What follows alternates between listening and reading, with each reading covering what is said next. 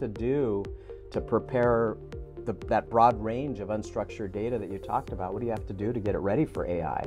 Yeah, it's a great question, and, it, and it's it's an interesting one because unstructured data by nature can kind of be represented in, in infinite ways.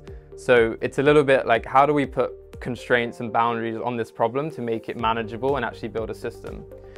The way I often think about it is um, can we kind of create a funnel? And the funnel kind of resonates with people. And at the top layer, you have, um, you know, can I use this data? Which basically means, you know, is it sensitive? Is it confidential? Is it restricted?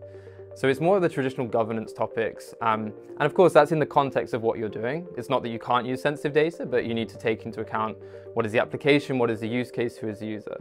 And that's generally very broad, meaning that you probably want to do that scanning across most of your data, across the petabytes, billions of files that exist. You know, the next layer then is, should I use this data?